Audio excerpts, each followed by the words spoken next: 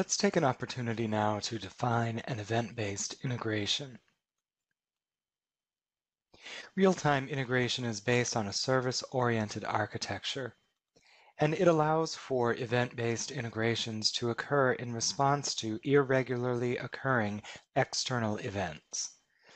Typically, these event-based integration processes are not executed on a schedule.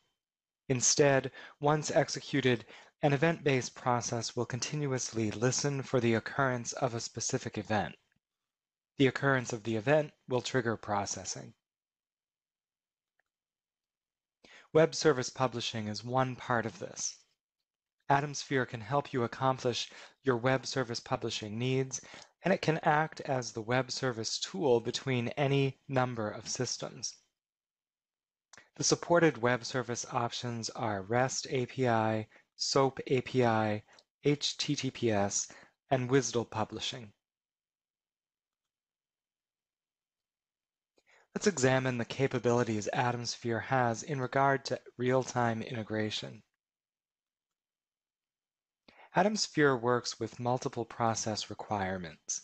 We can handle any combination of small, frequent, or high-volume executions. It also has the ability to be the web service itself or publish a WSDL. We use our web services connectors to fuel our event-based solutions, allowing our users to trigger AtomSphere executions from outside the tool without the need for a schedule. And finally, AtomSphere can act as an embedded web server for larger scale SOA needs. Let's examine exactly how AtomSphere fits in. Examining this simple network structure, we can begin to understand what AtomSphere can do.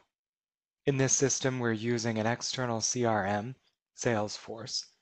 We're also using ADP for payroll and HR management, and Oracle for storage. We want information to pass through these applications easily, but we also understand we may want to add new or other applications in the future. With AtomSphere in the middle, we can access these web service tools and integrate them easily. By publishing web services on the front end of these systems, real-time processing is achieved. And this allows for quick ramp-up times when changing systems and it doesn't force a user to stick with legacy systems. Because we're not writing proprietary code or adding EAI packages, we can help to keep the costs down.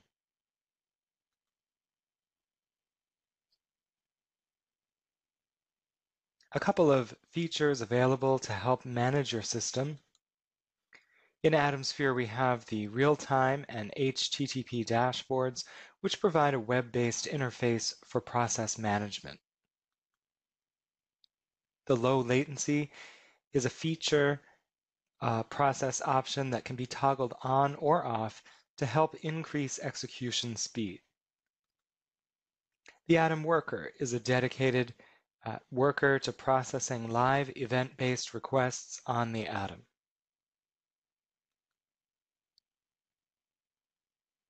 The real-time dashboard displays aggregated low latency process execution information rather than reporting information about every execution of a low latency process. The summary information appears on the real-time dashboard rather than on the Manage section of the process reporting page. This information will be retained for 30 days. And when a low latency process generates a warning or an error, then a more detailed view will be available on the process reporting page. You can also view low latency process error messages and logs just as you would for a non-low latency process.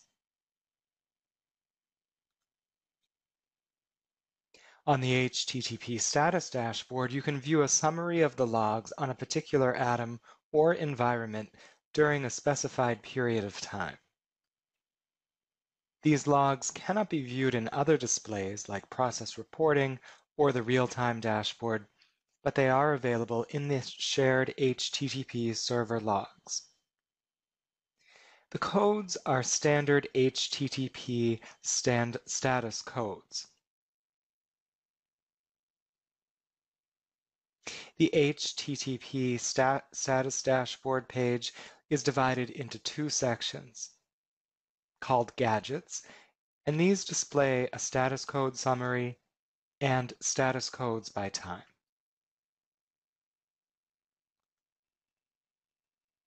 The low latency process option is recommended for web server and event-based processes.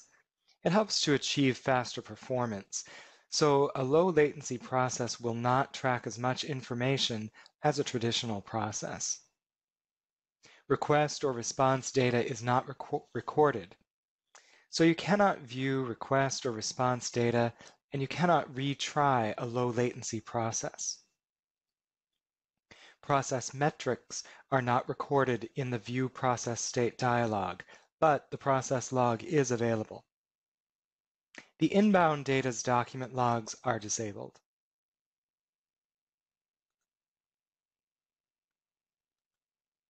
The low latency option for processes often increases the speed a process executes, but it does so at the expense of logging the various process states.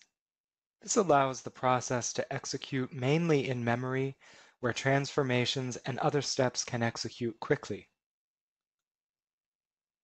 An Atom Worker is a reserved resource in the Dell Boomi Atom Cloud dedicated to real-time processing requests for a given account.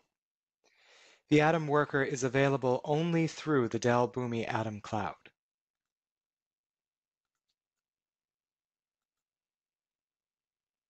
As mentioned earlier, the Web Services Server connector allows customers to turn any integration process set up in Atomsphere into a web service that can be deployed on our Atom Cloud or on-premise. All web services are managed from one central location from the Dell Boomi Atomsphere to help extend and strengthen existing governance policies.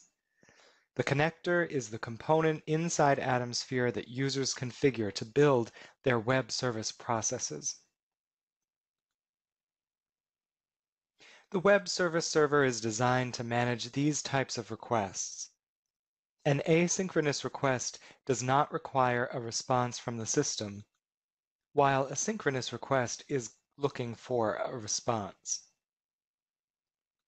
A single SOAP contains one XML file, while a multi-SOAP contains one to an infinite number of XML containers.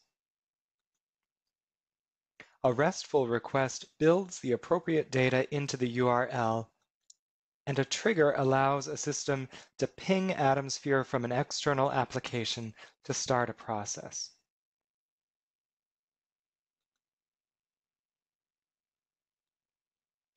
Shared web server settings are controlled at the atom, molecule, or cloud level under Atom Management, and these settings determine what type of requests can be made. The API type must be set to intermediate when using the Web Services Server operation. With the API type set to intermediate, only specific users can hit the API. The available endpoints are shown here. Finally, under User Management, users can be added, passwords generated, and process filtering can be enabled.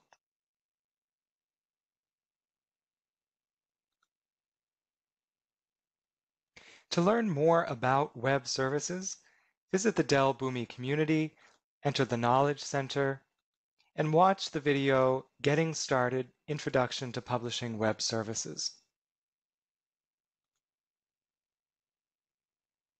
You can also install and review from the process library Web Services Publishing Basic Examples.